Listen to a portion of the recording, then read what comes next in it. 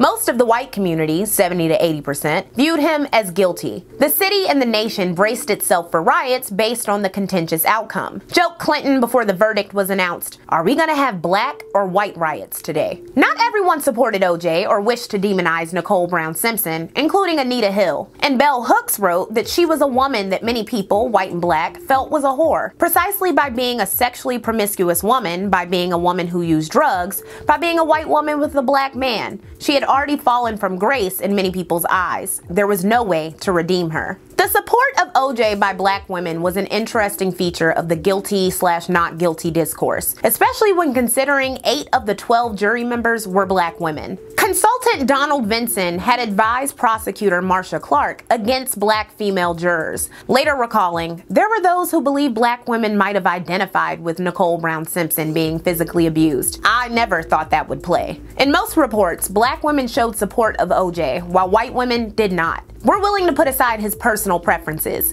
We have been oppressed for so long that we really do take people back. Maybe this will bring him home, said a black woman named Denise Cade. This quote is more profound when you think about the fact that O.J. Simpson's first wife, Marguerite, whom he had cheated on with 18 year old Nicole before leaving her, attended his trial every day. In some archival footage and reporting, there were black women who didn't support him, but for most, the call to support the race was too powerful. Continued Cade the reason a black man may beat his wife is because he's facing racism on his job and racism in America. Keep in mind, she's defending multimillionaire I'm not black OJ Simpson here. What is the reason a white man beats his wife? It's certainly not because of oppression in America. We can understand what our black men feel. That's why we don't rally around those feminist people. In a 1995 essay by a teacher who utilized his sophomore's OJ Simpson fascination to teach civics, he found a disturbing trend among the Jersey City high school students. No more than four of my 110 students think OJ Simpson is definitely guilty,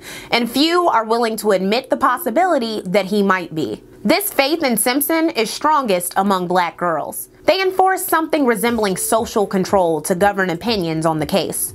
One girl last week suggested, hey, the case against OJ isn't that crazy. Bad move. She was viciously attacked until she admitted that yes, she was just kidding. Of course OJ is innocent. The teacher, a white man, continued. While no non white student believes OJ did it, few are upset about the crime itself. Simply, they do not like Nicole. Again, this sentiment runs especially strong among black girls. One said if Nicole were a black woman, she would have fought back. No black woman would take that. And another, she got what she deserved as a result of messing with a black man. This blind racial support, even among teens, was not only part of an ongoing pattern, but a reinvigoration of the black nationalist mindset gaining greater prominence in the 90s. In addition to the racial atrocities of the decade, feminism, alternative lifestyles, and popular culture diversified and reached more black people.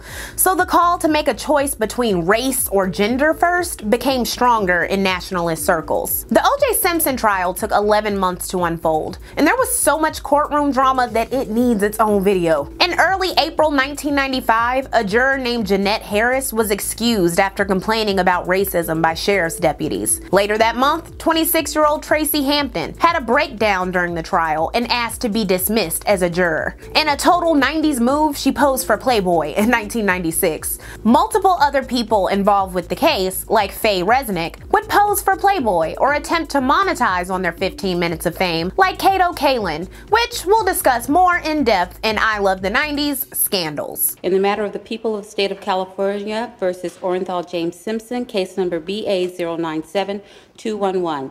We, the jury, in the above entitled action, find the defendant Orenthal James Simpson not guilty of the crime of murder in violation of Penal Code Section 187A, a felony upon Nicole Brown Simpson, a human being, as charged in count one of the information.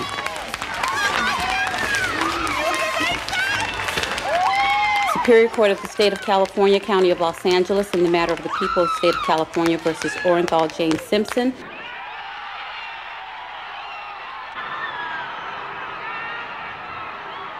I think it's great. He deserves to go free. They had no evidence on him. So much evidence to deliberate for as short as they did and come back with a not guilty verdict. I think it shows uh, the jury was pretty irresponsible and money can buy you justice, exactly. Uh, our audience has been here most of the morning waiting to see the verdict, and lots of people, as you saw, had some pretty strong reactions. Obviously, you're very happy. I'm very happy for his family, for his children. I'm very happy. I'm also very happy. I think justice was served. Mm-hmm. There were those who knew OJ was guilty, but celebrated the verdict as a victory for past transgressions by the justice system. And this is how I always grew up hearing about the OJ Simpson trial. People would be like, they knew he did it, but they accepted that he did it and they were glad he got away with it.